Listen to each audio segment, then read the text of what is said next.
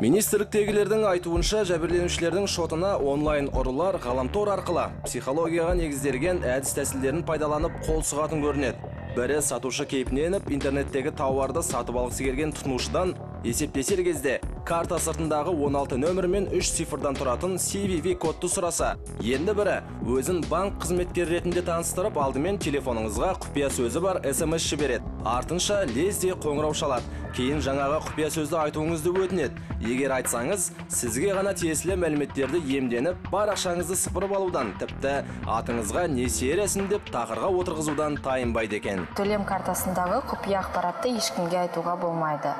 Құпия ақпарат болып төлем картасының толық 16 саны төлем картасының жарамдылық мерзімі және артындағы үш год болып саналады. Яғни осы құпия ақпарат тек қана төлем карта, картасын ұстаушыға белгілі болу керек. Егер де кімде кім телефон арқылы қоңырау шалып құпия ақпарат қандай да бір сұрайтын болса осы құпия ақпаратты ешкімге айтуға болмайды. Әр төлем картасын ұстаушыда өз құпия сөзі болады.